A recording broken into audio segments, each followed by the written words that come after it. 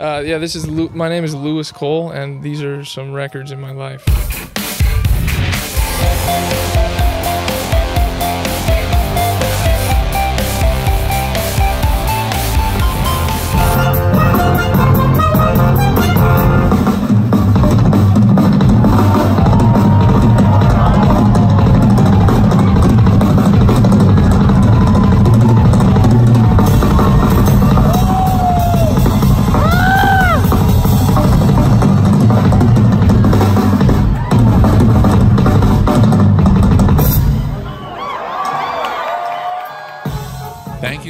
Being on Records of My Life. How are you today? Good. How are you? Good, good. Thank you. How's uh, Boise treating you? Uh, this green room's pretty good.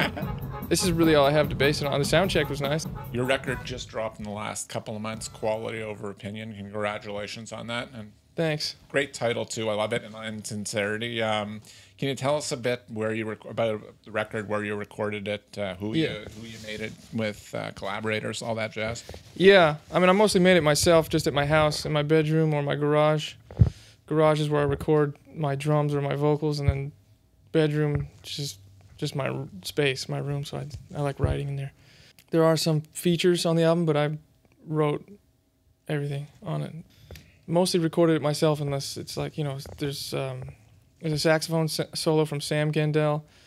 And uh, Chris Fishman on piano, Nate Wood on bass, Marlon Mackey on vocals, Genevieve Artadi on vocals, uh, Kurt Rosenwinkel on guitar. Did I forget anyone? No. cool. Usually Daniel knows. That's great. I've, I've read the records inspired by Miles Davis, Meshuggah, uh, Yeah. Mahler. Can you give us a couple of favorite records from those artists? Yeah. Um, the Mahler record called uh, Ballads and Blues. no, I'm just kidding. Uh, I don't know. There, there's a few.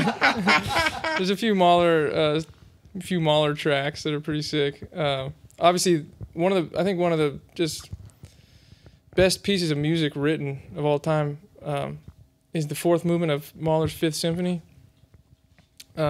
Just a, the slow piece with mostly strings and I think harp.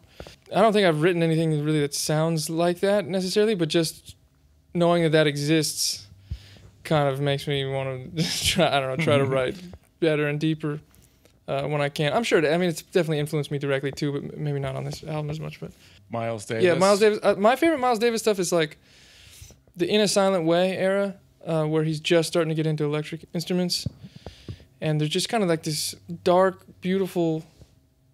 Not dark in a sad way, just dark. Like I don't know. I can't really describe it. It's just dark and beautiful, uh, kind of relaxed. Uh, music and I think the best stuff is the from this. If you go check out the album, that's the In a Silent Way complete sessions that just has more uh, of what I'm talking about, what, what I really love. Um, there's just a lot of stuff that never got released on the actual In a Silent Way album. I think some of the other tracks got released in surrounding albums like Filles de Kilimanjaro and, and Bitches Brew and stuff like that. Maybe or maybe not Bitches Brew, but um, that era, like like 1969, 1970, 1968, maybe uh, Miles Davis stuff. I, I I think that's my favorite. Plus, then also like the era with Gil Evans doing the arrangements because he's my favorite arranger. Gil Evans. So like um, Quiet Nights and Miles Ahead are my two favorites. Also like um, Birth of the Cool. Those are those are probably my That's favorites. terrific. Yeah, it's yeah, it's still fresh every time I hear it. There's still like this crunch crust to that. It's not too refined, but it's just like it's so beautiful how it's how it sounds. I mean, there's uh, there's nothing incorrect or anything like that. It just has this edge and this crunch to it that I just think is like I don't know what that is. I can't speculate as to what was going on. Was he experimenting? I don't know. Sometimes that's how you kind of fall upon that type of edge feeling as if it's like an experimental area uh, in your in your career or something like that. I don't know. It just kind of feels like I'm just. these are probably uh, these are very unfounded thoughts, but I just wonder. It just kind of has this feeling of like crunch to it that's I think is so beautiful. It's kind of imperfection almost, but it's not really. I wouldn't you know say it's imperfection. And what about modern, a bit like Mesh, Meshuggah? I can't I never pronounce the name of the band right. It- Yeah. It, it, I always thought it was Meshuggah. Me- maybe. Meshuggah? yeah, Meshuga? yeah. Is that it? Like if you put an accent over the U, like Yeah. Meshuggah. It's a weird thing know. because it's also um, a Yiddish word for, and it's also Yeah. the other word. So it's like, Uh-huh. I'm Yeah, always perplexed and confused. Yeah, I don't know how to pronounce it. That's just how I've heard other people say it. Do you have a favorite record by them? No, I, I I just like everything. I just like you know actually my favorite Meshuggah stuff is going on YouTube and listening to their concerts from like late '90s, like 1996 or 1998, where the, the audio quality is insanely bad, but just the way that um, they play is just so beautiful. How they're they're one of the most grooving bands of all time. I think they're up there at the very top of the pyramid for me. Uh, the way that they play together and the way the writing is for the grooves, it's just uh, I don't know, it's it's really beautiful to me. Thank you again for being on Records in My Life, the shows about you and the records that continue to inspire you. I wanted to ask about. I did see Thundercat, and I know yeah, you work very closely and collaborated together on on, on a lot a lot of stuff. The song I love Louis Cole. I mean, it's. Uh, do you have a favorite piece of music or one that you're most proud of that you collaborated with Thundercat oh, on? Uh, yes, I like the song "I Love Louis Cole." Uh, I think that turned out really nice. I mean, the, it's kind of funny to say that because what the lyrics about, but it's actually I just think the song is really nice and the way he sings and the melodies he wrote. Uh, I'm proud of the the instruments, the instrumentals and, and stuff that I wrote for that. Uh, and I also like Tunnels in the Air. That was one on my album called Time from 2018. Uh, basically, I was over at his house and he said you can just take these songs and do whatever you want. So I just took his melody part took out everything else and then just made a new song under his basically his lead vocal line and that was it was just it was I thought it turned out kind of nice with the chords and everything. That's amazing. That's a great great story. Thank you for sharing with us. That's terrific.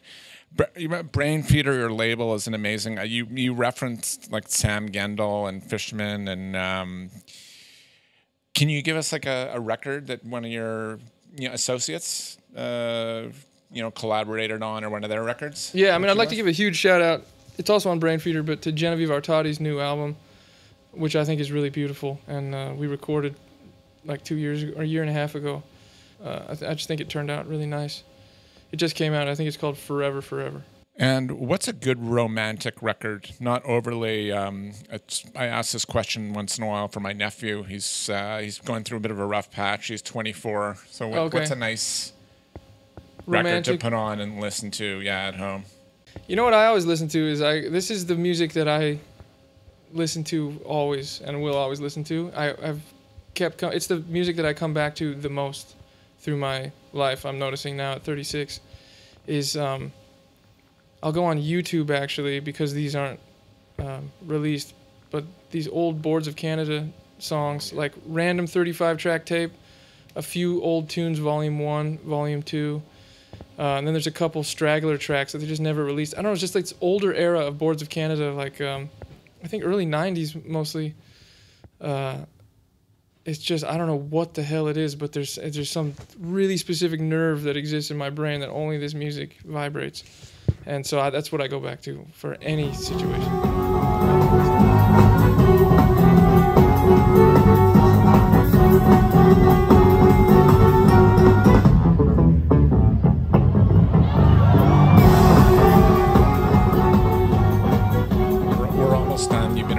No, Thanks no, so okay. much for being. What, what's a record?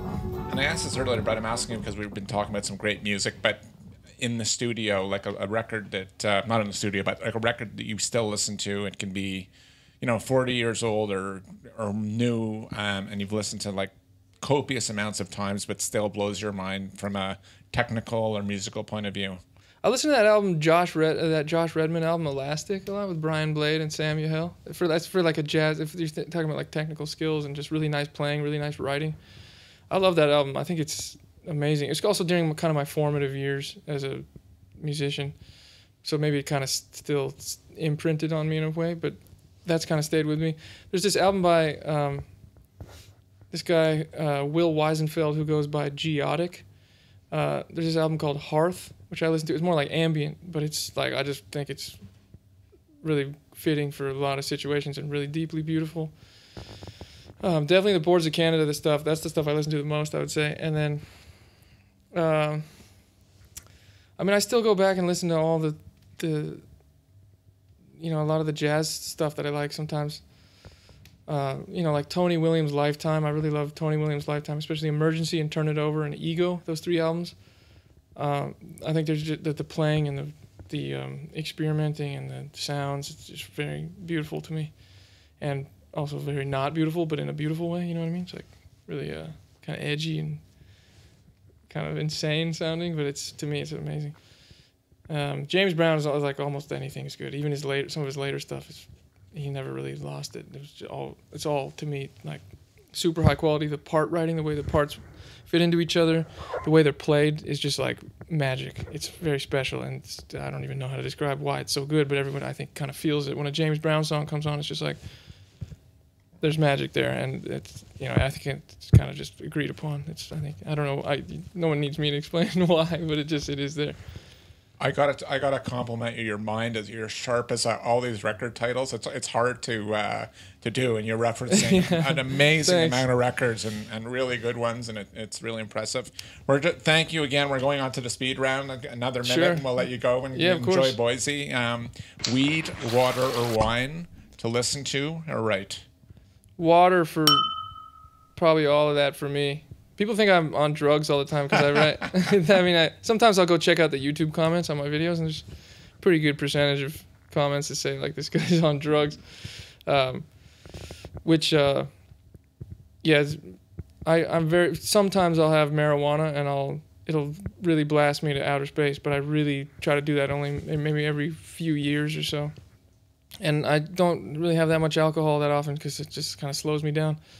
Um, but they're both, I mean, they're both amazing in the right situation and they can enhance music. For me, never really writing too much. Maybe sometimes with alcohol, it's kind of just gets my mind loose a little bit and it's kind of maybe can help, but I never really rely on that or have even a specific memory of that being like a helpful tool for me. I usually just try to. I don't know. I think me being bored uh, in life kind of maybe helps me a lot because it kind of pushes me to try to push uh, to pull, uh, you know, twinkles out of the air around me. That's I'm kind of bored of, and a lot of music bores me too. It's um, I I will be the first to say that I'm a huge snob with music, and I've learned. I've, at first, I was like, I'm I suck, you know, I, I'm just such a piece of crap for being such a snob. But it's like, I actually think it really has helped me, and I've learned to embrace it over the last couple of years. So this is a huge tangent, but it's just where my mind's going right now. but but I think it's really helped me actually to know exactly what I like, and it's maybe kind of helped shape my filter for listening to this music that I love, and maybe kind of filtering it into a hopefully a different thing. Yeah. So I would say makes- water. It yeah, it makes hundred percent sense though, right? I mean, good music to listen to. The show's not about me. Sorry, I'm You know, I like on, hearing but- this actually. But it's like good music. Life is too short, and and you're massively passionate, obviously, about music, and it's one of the greatest joys in life. It's like you can't waste your time unless you're unconscious listening to to pap. I mean, uh, Yeah. Anyway, I, I agreed with you 100. percent oh, okay, cool. Um, coffee with an artist, alive or dead. Maybe like some old, cla- I mean Mozart or something like that. Yeah.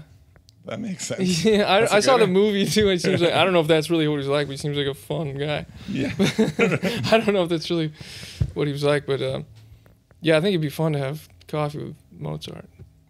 Record of your high school years. First record that comes to mind. But my high school years, probably Tony Williams' "Lifetime Emergency." That kind of blew my head off.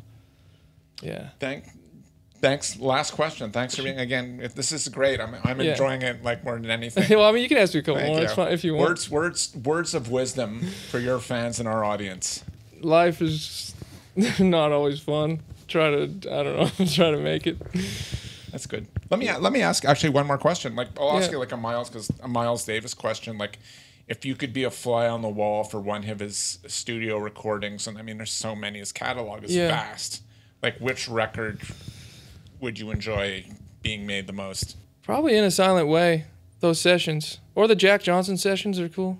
Not to be confused with the The Hawaiian, day, the Hawaiian yeah. guy. Or not, he's not Hawaiian, but he, you know surfer, what I mean. Yeah, the, the surfer guy, right? yeah the surfer guy. Yeah, the uh, yeah. Not it has nothing to do with him. It's the boxer. He, Miles Davis was writing music or having other people write music and putting his name on it that had something to do with the boxer. Uh, but I don't know. That session has some really weird, cool stuff, and I just love all the musicians like Jack DeJohnette and Dave Holland and all this. But probably in a silent way. The in a silent way, the, the the one song that I really love the most, I think, from that session is the old version of "In a Silent Way."